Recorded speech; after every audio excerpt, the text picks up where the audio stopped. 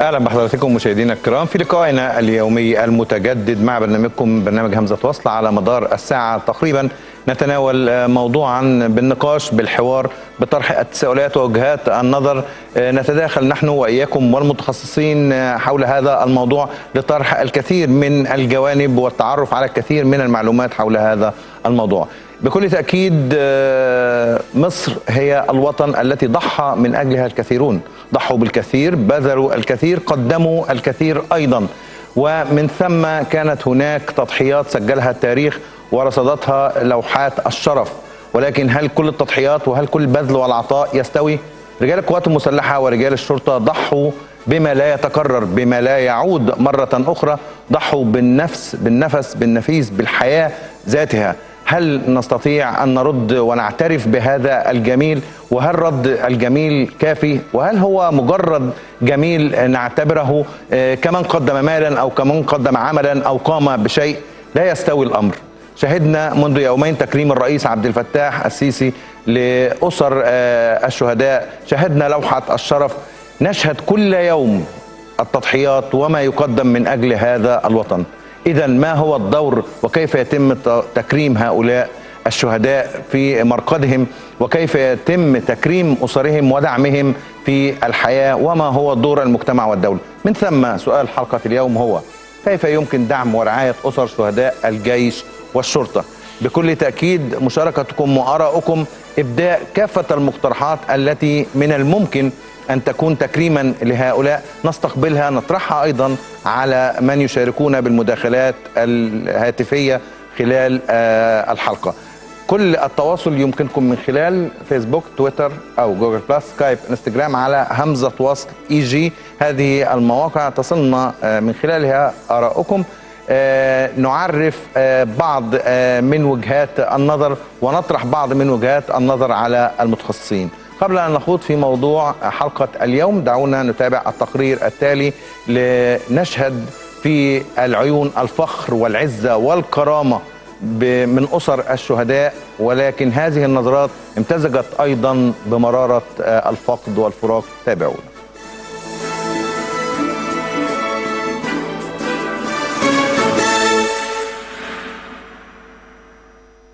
من أجل الحفاظ على تراب الوطن الغالي مصر تحملت القوات المسلحة وقوات الشرطة أمانة حماية الجبهة الخارجية والداخلية المصرية بكل وطنية وشرف في مواجهة جماعات الإرهاب والتطرف التي تسعى إلى نشر الخراب والدمار في كل مكان. من هنا جاء التقدير من كل جموع الشعب المصري للتضحيات الكبيرة التي يقوم بها رجال الجيش والشرطة البواسل في السهر على حفظ أمن واستقرار الوطن في مواجهة جماعات الظلام وشددت جموع الشعب على ضرورة تقديم الدعم والرعاية لأسر شهداء الجيش والشرطة. شعب دعا إلى ضرورة مساندة الجهود والتضحيات الكبيرة التي يقدمها رجال القوات المسلحة والشرطة المصرية في حروبهم المستمرة ضد الجماعات والتنظيمات الإرهابية التي تسعى إلى نشر الفوضى والدمار. كان الرئيس عبد الفتاح السيسي قد وجه خلال الاحتفال بعيد الشرطة السادس والستين الذي أقيم بمقر أكاديمية الشرطة. وجه التحية للشهداء وأسرهم وعائلتهم مؤكدا أنه لا توجد كلمات أو تكريم يفي بحق الشهداء. وأوضح الرئيس أن هناك الكثير من الأخطار تحيط بالوطن. مؤكدا أهمية الحفاظ على الوحدة والهدف وعدم السماح بتغيير بوصلة العمل الوطني وتقويض الجهود التي تتم لحماية الوطن من الأخطار كافة.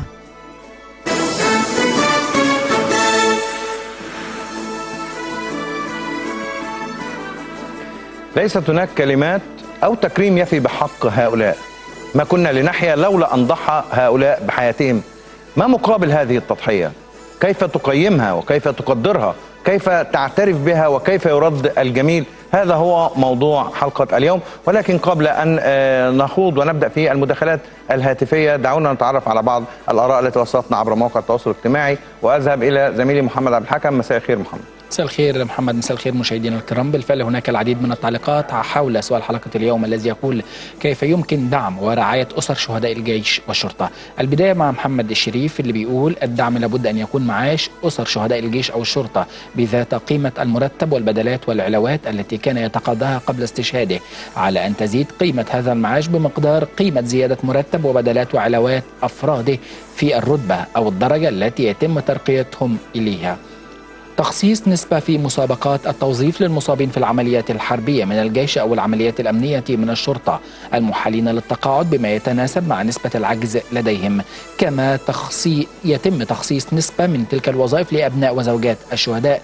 فإذا كان الشهيد غير متزوج أو كان أولاده قصر أو لم يكن له أولاد فتخصص لإخوته. محمود الضوي يقول يمكن دعم ورعاية شهداء الشرطة والجيش أنهم أبناء شعب مصر ورعاية والعناية بأسر شهيد الجيش والشرطة لتقديم رعاية كاملة اجتماعية ومعنوية وعلمية ومنحهم لقب أسرة الشريف لكل شهيد من أبناء الوطن الذي يفدي بروحه ويشرف تراب مصر لحماية وتعمير ونشر السلام وكرامة الشهداء محفوظة في الحياة الدنيا. أخيرا أيمن النصر يقول رحمة الله على الشهداء الوطن من الجيش والشرطة والشعب. ضحايا الإرهاب والجماعات المتطرفة التكفيرية أعداء الإنسانية وخونة الأوطان الذين لا دين لهم ولا وطن إلا تنفيذ أجندات خارجية للعبث بأمن واستقرار الوطن. نعم لدعم شهداء الجيش والشرطة وأبناء الشعب الشرفاء الذين ضحوا بالغالي والنفيس من أجل بقاء هذا الوطن. إذا هناك اقتراحات كثيرة محمد سليمان لكي يتم تخليد أسماء هؤلاء الشهداء الذين ضحوا بأنفسهم ضحايا في الإرهاب الأسود وضحوا من أجل رفعة هذا الوطن. أنتقل إليك الآن لكي تستقبل أولى اتصالاتك الهاتفية. أشكرك محمد وأشكر مشاهدينا الكرام على هذه المشاركات. آه الأعمال والنتائج وبقاء هذا الوطن هو آه التخليد الحقيقي لكل هذه التضحيات. ولكن لنقف معا أعزائي المشاهدين ولو لحظة نتأمل كيف يذهب شخص بمحض ذاته وارادته ووعيه الكامل إلى الموت من أجل هذا الوطن. دعونا مشاهدينا الكرام نبدأ المداخلات الهاتفية نتعرف على الدور الذي يجب أن يكون ويجب أن يستمر ما قامت وما استمرت الحياة على هذه الأرض مع أسر الشهداء عرفانا واعترافا منا كدولة وشعب بهذا الجميل الذي تقدم. معي على الهاتف الأستاذ جمال شتا والد الشهيد هشام شتا وسيكون معي أيضا سيادة اللواء مجدي البسيوني الخبير الأمني والأستاذ محمود بدوي رئيس جمعية حقوق الإنسان. أستاذ جمال شتا بعد التحية دعني أتعرف بداية على ظروف الموقف أو الحدث الذي افتقدنا فيه الشهيد. أهلا بحضرتك أهلا. هو أنا أنا والد الشهيد هشام شتا معاون مباحث مركز شرطة كرداس اللي استشهد يوم 14 8 2013 آه وقت الهجوم الغادر على مركز كرداسة ابان آه فض اعتصام رابعه والنهضه الارهابيين وهشام كان بايت في المركز والصبح حصل عملية الهجوم وادى إلى استشهاده هو وزمايله آه الشهداء.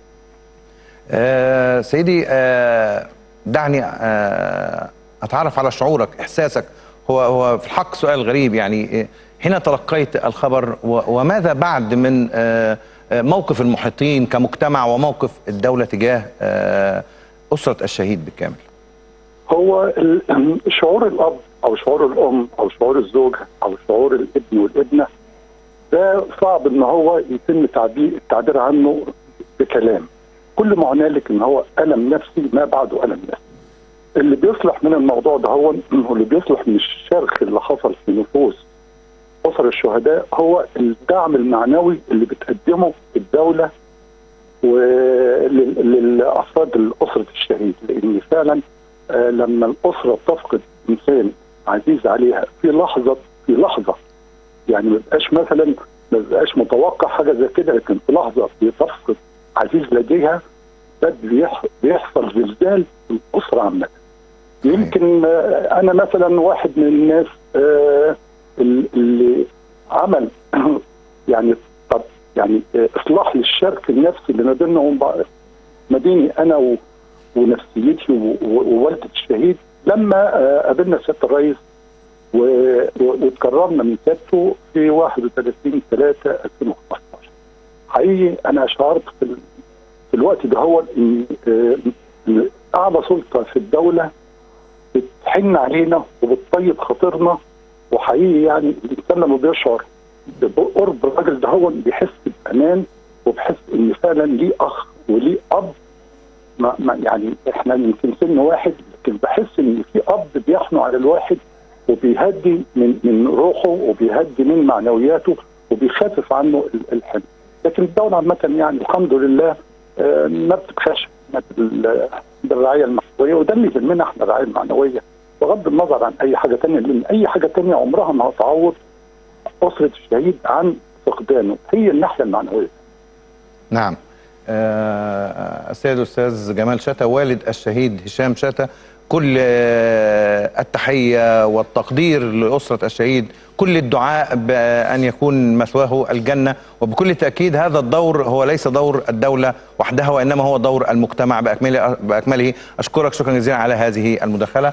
أذهب إلى سيادة اللواء مجدي البسيوني الخبير الأمني. يعني آه، سيادة اللواء بعد التحية آه، هل آه، للتكريم أو تكريم الدولة بشكل علني وشكل واضح في آه، المحافل وفي المواقف.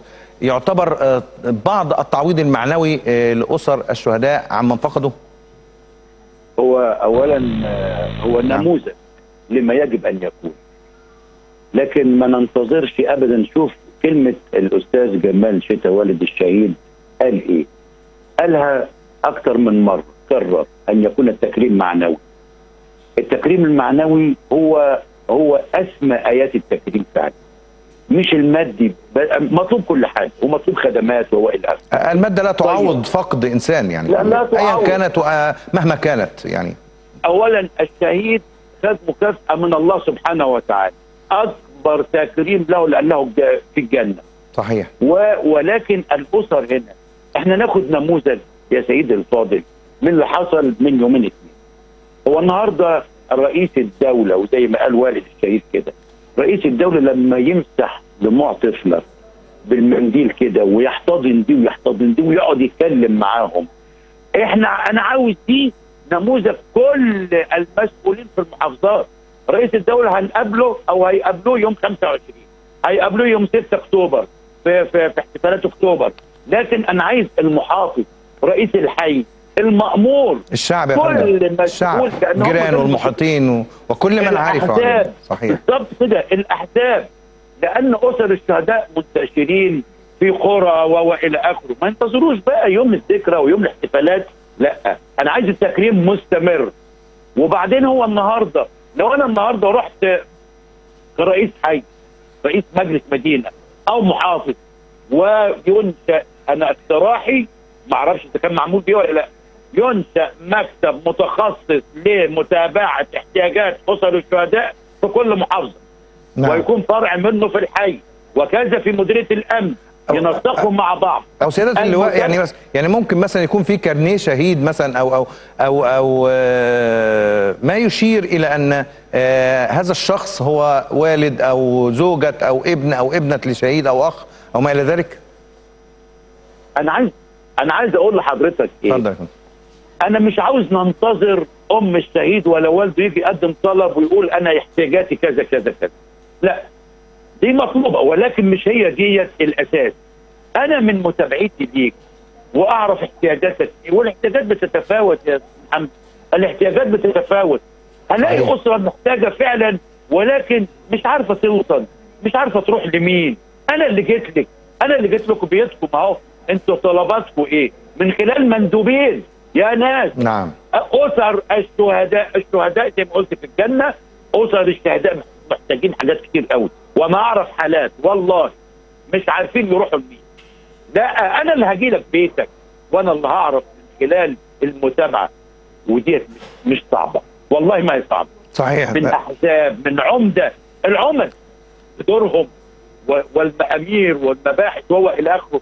يعني هو ده التكريم الفعلي بقى. نعم سيادة اللواء أرجو أن تبقى معي. أذهب الآن إلى الأستاذ محمود بدوي رئيس جمعية حقوق الإنسان. أستاذ محمود آه، بعد التحية يعني سيادة اللواء يرى أن تكريم الشهداء لا يتوقف على يوم فقط. هناك دور بكل تأكيد حق للشهيد هو يساوي حق وجود وطن يعني. فمن ثم هذا التكريم لابد أن يستمر من الدولة وهذا التكريم والدعم يستمر أيضا من المجتمع المدني. من وجهة نظرك كيف يستمر هذا التكريم دون توقف ودون احتياج أسرة شهيد إلى أي شكل من أشكال الدعم أيا كان مادي أو معنوي أيا كان؟ بداية تحياتي لحضرتك ولضيوفك السيد جمال شفا والد البطل الشهيد ولسيادة المساعد مجدي بيه البسيوني وطبعا كل التحية والتقدير في عيد الشرطة لأبطال مصر العظماء. خليني أقول لك إن إحنا هنا أما بنتكلم ربما أتناول الأمر من وجهة نظر ربما تختلف شوية عن ما اتكلم سياده المساعد. إن إحنا هنا النهارده بنقول إن إحنا كمجتمع مدني وكمواطنين عاديين بنقول إن تكريم هؤلاء الأبطال لازم يكون بإن إحنا نعرف اولادنا ونعرف كل الناس ونتحدث دائما وابدا كل يوم وكل ساعة وكل دقيقة بما قدموه للوطن من تضحيات كبيرة جدا. عشان إحنا النهارده أنا وأنت قاعدين في بيوتنا النهارده وبنتكلم وأنت رايح عملك وجاي من عملك في أمن وأمان. النهارده يا فندم هو إحنا هي جملة بسيطة هي وجود وطن يساوي ما قدمه الشهيد يعني. أكيد تمام. أكيد. هو هو هو هو عامل مهم جدا في بقاء هذا الوطن في ظل اللي إحنا بنشوفه حول مننا بيحصل في كل البلدان العربية. النهارده الناس دول أو هؤلاء الأبطال اللي هم قدموا دمائهم الذكية ك ك كوقود لحركة تحرر هذا الوطن لازم النهارده لا يقتصر تكريمهم عندنا على مجرد إن أنا جاي بتكلم عنه في عمل درامي أو بتكلم عنه في برنامج أو حتى إن أنا بتكلم عنه في يوم لتكريم الشهداء. لازم النهارده إن فكرة إن الدولة كلها تكون كلها بتتكلم بشكل مباشر وشكل دائما النهارده ما بلاقي سياده الرئيس دموعه بتنزل وهو بيكرم أحد الفتيات أبناء بنت أحد الشهداء. كلنا اتأثرنا كلنا اتأثرنا. المشهد ده رأس الدولة النهارده قاعد دموعه بتنزل حزن على على الموقف ده لأن مفيش حد وكل وطني وكل وطني مخلص في بيته وجد أو شاف هذا المشهد بالتأكيد على قلب على قلب أم ولا ولا قلب ابن. فاحنا النهارده ابسط شيء نقدر نقدمه له ان إحنا النهارده لازم ان إحنا نقول نعزز فكرة إن الأمن مسؤولية مجتمعية. عشان النهارده ما يسقطش شهداء جداد واخد بال حضرتك لازم إن إحنا كلنا نكون كلنا بنعض بالنواجذ على أمن هذا الوطن. إن النهارده المواطن العادي هو كمان رجل أمن في مكانه وفي محيطه. لابد من تعزيز الثقة ما بيننا وما بين الأمن. لابد من تعزيز فكرة المسؤولية المجتمعية ما بيننا كلنا عشان نقدر كلنا إن إحنا النهارده نحافظ على بقاء هذا الوطن. لأن في ناس ثانية قدموا دمائهم علشان هذا الوطن يفضل موجود ويفضل باقي وخلوا وخلوا الموضوع ده أمانة في إيدينا وفي إيدين زملاء ليهم. النهارده لازم كلنا نعظم ال ال ال كل هذه الاستفادة من كل التضحيات ومن كل الناس اللي سقطوا إن شاء الله بإذن الله نحسبهم في الجنة عند ربنا سبحانه وتعالى. فبنقول إن إحنا النهارده لازم كلنا كل يوم وكل وقت وكل ساعة نأكد على فكرة إن هذا الوطن إذا كان باقي الآن فهو باقي بإرادة هؤلاء الأبطال وباقي بدماء هؤلاء الأبطال العظماء. هم مش أول الشهداء ومش آخرهم إن شاء الله بإذن الله. ربنا يعني يلهم أهلهم. الصبر والسلوان وهم أكيد في مكان أحسن. وبلدنا إن شاء الله بإذن الله ربنا يكرمها بالأمن والأمان ويبعد عننا خالص فكرة الشبح الارهابي الأسود الجباني اللي بيغتال أولادنا وبيغتال أطفالنا وبإذن الله إن شاء الله كل خير لبلدنا. أستاذ محمود أيضا إذا ما حاولنا ترجمة هذا الدعم المعنوي وترجمة أيضا الدعم المادي وترجمة الاعتراف بحق الشهيد إلى واقع من وجهة نظرك ما هي الآليات التي يمكن من خلالها ترجمة الاعتراف بالجميل؟ الاعتراف بالجميل طبعا إحنا مش هنقول الاعتراف بالجميل لأن جميلهم هو أكبر من إن إحنا نقدر إن إحنا نوفيه حقه. لكن خلينا أقول إن إحنا بنقول ابتداء من عند بيتهم الأساسي وهو وزارة الداخلية. أنا أظن إن وزارة الداخلية بتقدم كافة أشكال الدعم المادي والمعنوي لأسر الشهداء. وخلينا أكد كمان على فكرة الدعم المعنوي هو في الأساس هو في المقدمة. لأن أي مكان من أموال أو أي مكان من أمور مش هتكفي فكرة إن إحنا زي ما قلنا ولد أو بنت فقد أهله أو أب أو أم فقد ابنه. النهارده لما بنقول الدولة ممثله في رئيس الدولة النهارده بيأكد على فكره إن إحنا شفنا في بعض الشهداء الذين تم تكريمهم هم ناس لسه استشهدوا من من أشهر قليلة. فده بيأكد على إن الدولة معاكم الدولة واقفة جنبكم الدولة تعترف بتضحياتكم الدولة لا تنكر دوركم إن إحنا النهارده كمان كمجتمع مدني لابد إن هو يكون كمان في نوع من إبراز التضحيات ديت نوع من أنت تعمل عليها spotlight وتعمل عليها تركيز كل واحد في محيطه يتكلم على الدور الإيجابي للشرطة لأن للأسف الشديد بنلاقي إن بعض الناس بتتعمد إن هم يتعرضوا للشرطة يتعرضوا للشرطة بشكل سيء. لازم نقول إن كل ان ان إن كل التضحيات دي هي محل تقدير في قلوبنا وفي عقولنا وفي عقول كل وطني. يعني مدرك أهمية بقاء هذه الدولة ويا رب بإذن الله إن شاء الله يعني كل الخير لأبطال مصر الشهداء في سواء في الجيش الباسل العظيم أو حتى في الشرطة المدنية. ويا رب بإذن الله إن شاء الله ليهم كل الرحمة وكل المغفرة ويا رب كمان بإذن الله إن شاء الله لاهاليهم الصبر والسلوان ويلحقنا بيهم بإذن الله إن شاء الله على خير. يعني يكون موعدنا بإذن الله إن شاء الله في جنة الخلد معاهم ويا رب كل خير بالتأكيد لبلدنا. بالتأكيد. آه، أستاذ محمود بدوي رئيس جمعية حقوق الإنسان. أشكرك شكرا جزيلا على هذه المداخلة وأعود إلى سيادة اللواء مجدي البسيوني. يعني آه، سيادة آه، اللواء آه، هناك فعل يتم كل شهيد يتم ترقيته إلى الرتبة التالية. هذا معمول به في آه، القوات المسلحة وفي الشرطة. آه، إلى أي مدى تؤثر هذه الترقية في معنويات أسرة الشهيد وعائدها آه، أيضا ما هو وهل هو كاف أم قد يكون هناك تطوير أو قد تكون هناك إضافة على مثل هذا العمل؟ اسمح لي يعني برضو أنا عاوز أضيف حاجة. تفضل يا فندم.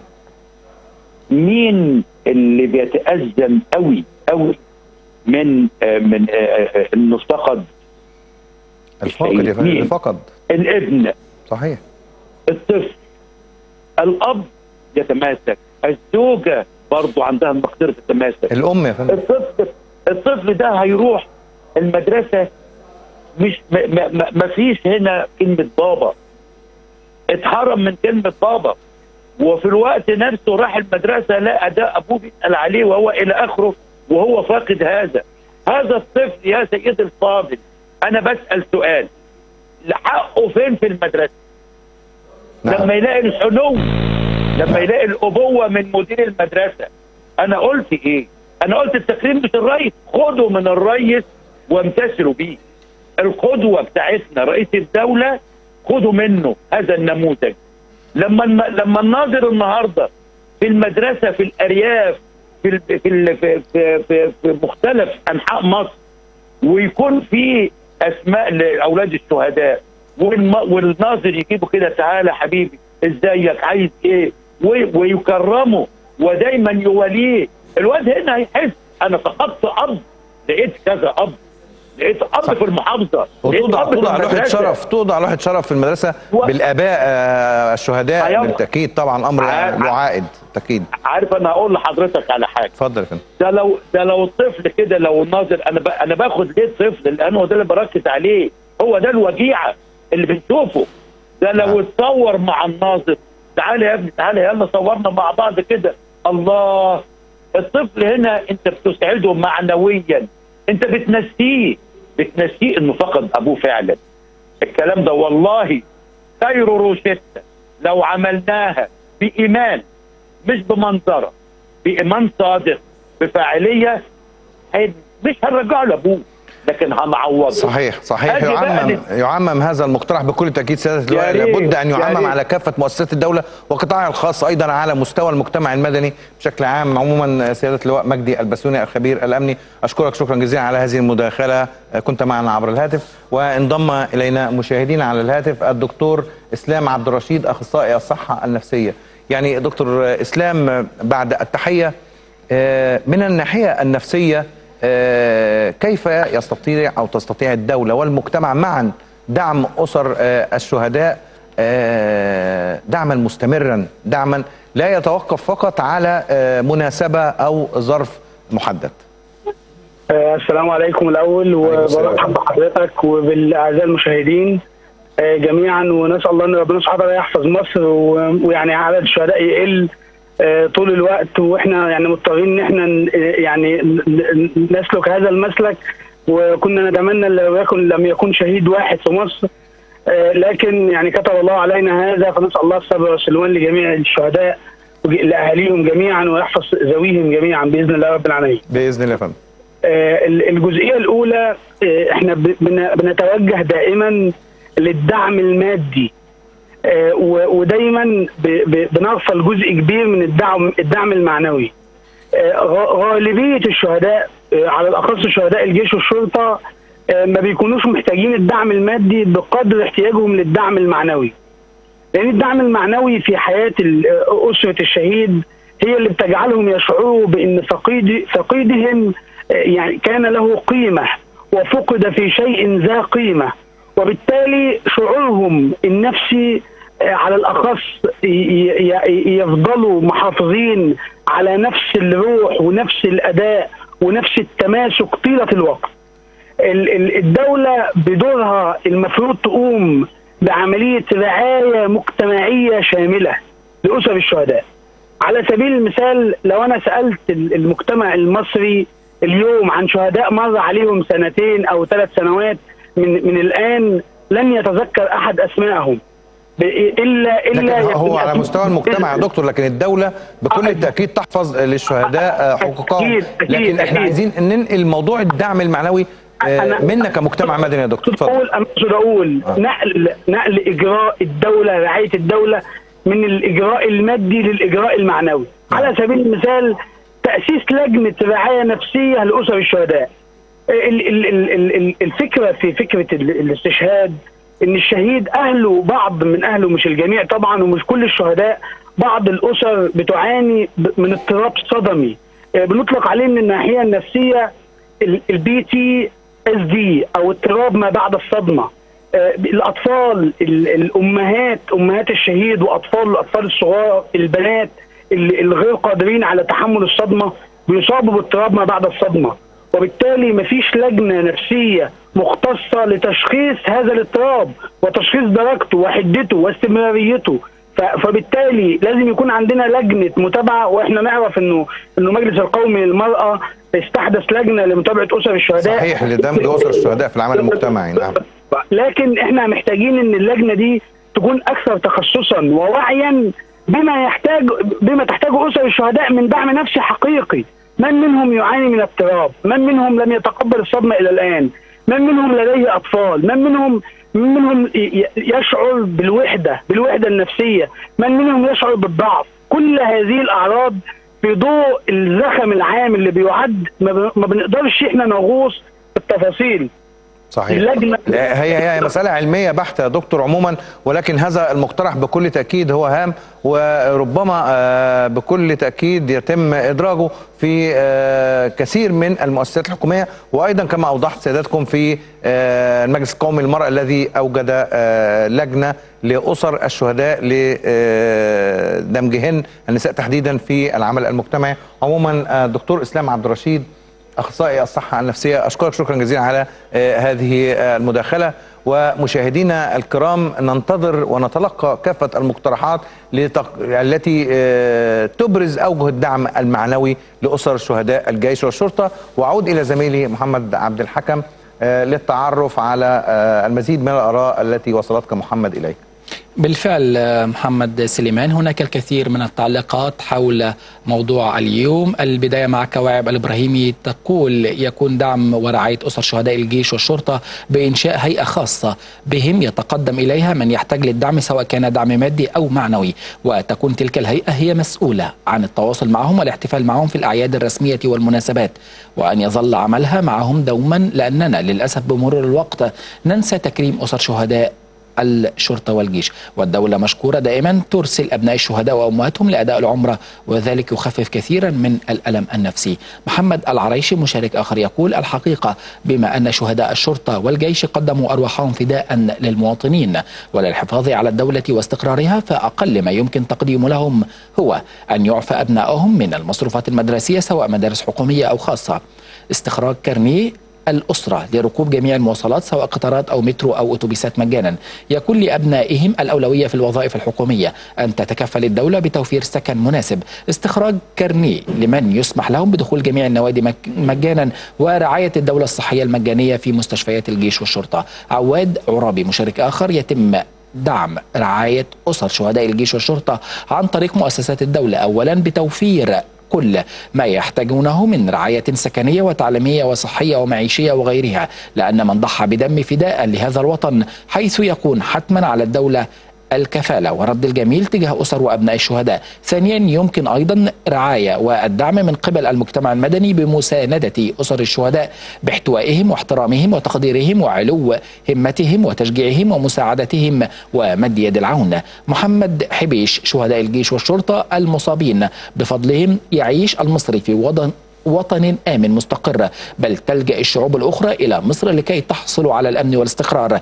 يجب أن يحصل يحصل كل شهيد أو مصاب على كل المزايا التي كان يحصل عليها قبل استشهاده أو إصابته حتى يخرج معاشا ويجب على رواتب الشعب على كل الشعب المصري أن يجعل دعم الشهداء والمصابين من ضمن ميزانية الدولة بالإضافة إلى إدخال قيمة كل التعويضات والغرامات والمصادرات التي تصدرها المحاكم في صندوق خاص لأسر الشهداء والمصابين. أخيرا عزت يقول أسر الشهداء يحتاجون الدعم والمودة والتقدير لأنهم ربوا وعلموا وأخرجوا أبطال ضحوا بكل غالي ونفيس من أجل أن يعيش هذا الوطن في أمان وسلام. لا مانع من مساعدة أسر شهيد بمشروع أو ما شابه ذلك.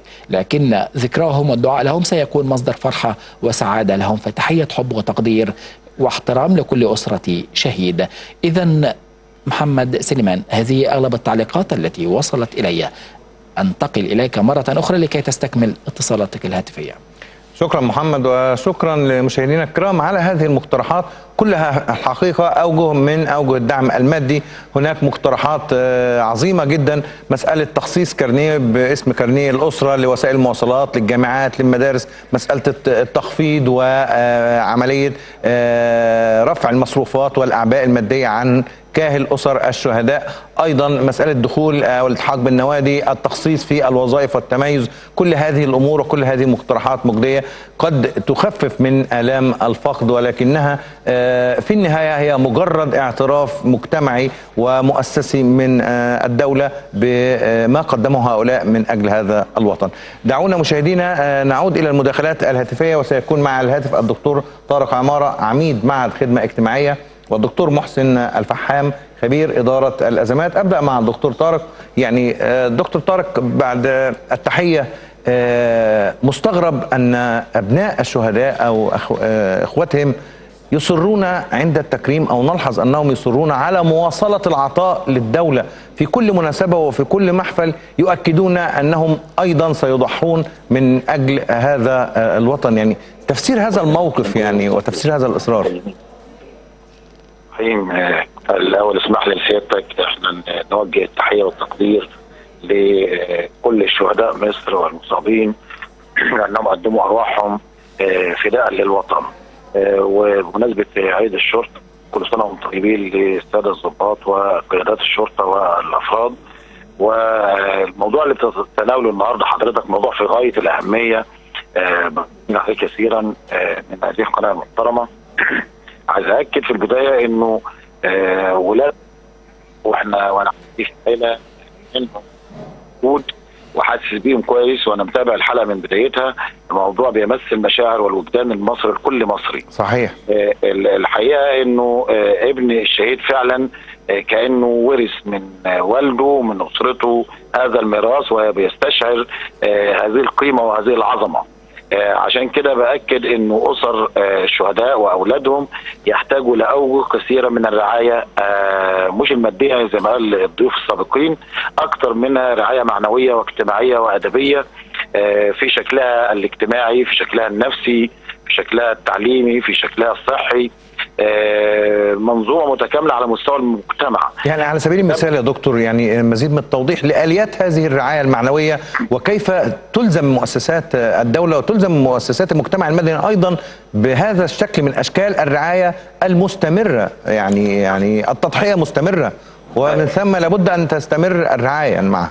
اتفضل. الآليات أنا سعيد بكلمة الآليات حضرتك لأن هو ده الأهم عندنا إحنا ما يأتي رأس الدولة وهو فخامه الرئيس عبد الفتاح السيسي في كل مناسبة آه، أسر الشهداء وأولادهم وبناتهم بهذا الشكل آه، بيوصل رسالة المفروض لكل منظمات المجتمع سواء في شكلها الحكومي آه، زي ما قال سياده اللواء البسيوني قبل الساده المحافظين رؤساء المدن رؤساء القرى آه، القيادات التنفيذية كلها كلهم في موقعه يجب أن دي رساله توصل بشكل مباشر مش شرط آه، قرار رئاسي أو حكومي يصدر آه، يبقى شعور وطني لدى كل إحنا بننسى يا دكتور إحنا. بننسى يعني إيه؟ يعني مع كثرة الأحداث مت- الاحداث المتلاحقه بيحصل عملية من السهو فبيندمج آه، آه، بتندمج اسر الشهيد يعني مع المجتمع عفوا أنا أعتقد حضرتك إنه في سادة محافظين فعلا زي كفر الشيخ حريص جدا على إنه يتواصل على سبيل المثال وأنا ابن من ابناء كفر الشيخ ومتابع آه، باستمرار في كل